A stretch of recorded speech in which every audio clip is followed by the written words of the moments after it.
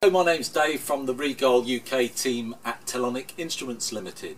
Purpose of this video is to show you the M301 data acquisition system, new from RIGOL.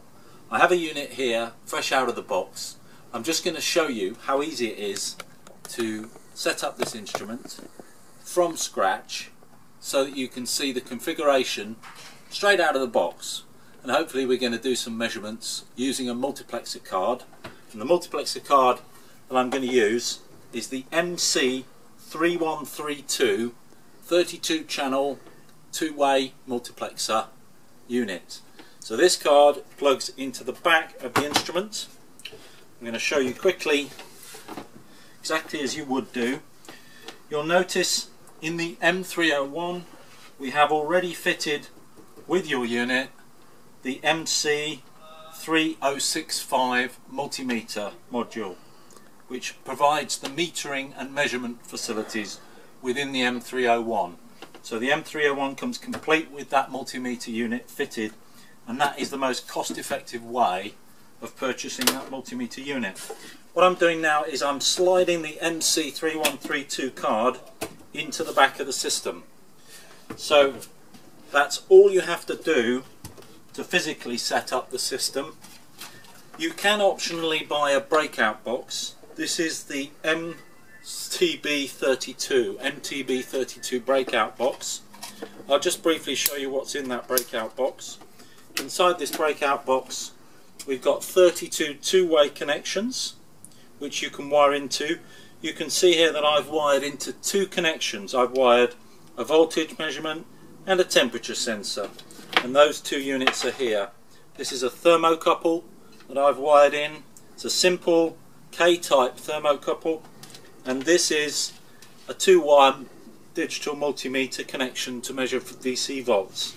So I'm just going to close that up so that it's nice and secure and then we're going to take that module and we're going to plug it into the back of the MC module, the multiplexer module Got it the wrong way around there. That sits snugly on there and it can be locked in place. So there you go, I've now configured that physically. What I'm going to do is power on that instrument now. While it's booting up, I'll just talk you through the range of measurements that can be made on this instrument. We're going to set it up to measure DC voltage and possibly temperature as well using that thermocouple. You can also measure AC voltage, two wire resistance and four wire resistance with the DM3065 module, MC3065 uh, module fitted. With the multiplexer card we have the option to view up to 32 channels and I'm going to show you how to configure this to, to scan across channels. So here we go. The front panel here has a simple way of detecting the units. You can see the detect button here. I'm going to ask it to find out what units are fitted.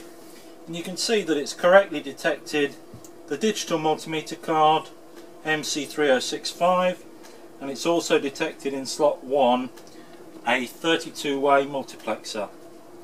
So we're now going to go back and we're going to set up a channel. This, this is the channel configuration menu.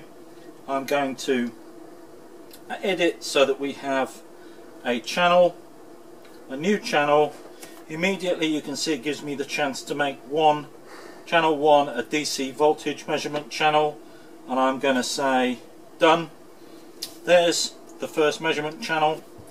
I'm then going to add a second channel and this time I'm going to ask it to measure temperature. Gives me a choice of thermocouples and I'm going to say, for the sake of argument, I'm going to say could you measure it as a JK type thermocouple and there we go done. So you can see on the front panel that we have DC volts and temperature.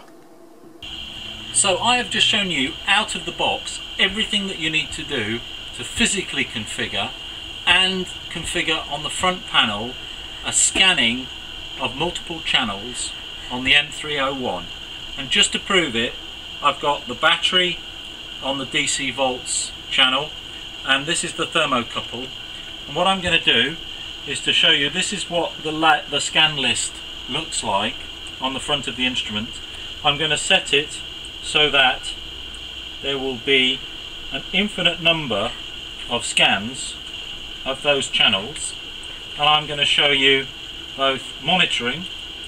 So now the unit is monitoring DC volts on channel 1 and it's showing that 9 volt battery and it's also showing the thermocouple and it's correctly showing the rather warm 29 degrees temperature that is up here. And I can prove that to you by just blowing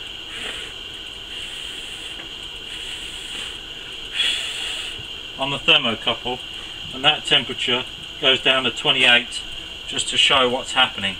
If I don't want to monitor the channels I can also ask it to do a full run of scanning. And that will do that scan list beg your pardon that will do a run of that of that scan that's now logging that data at the same time as monitoring it it's logging it to a file within the instrument and we can export that set of data from the scan list. So that's everything you need to do to scan with the M301.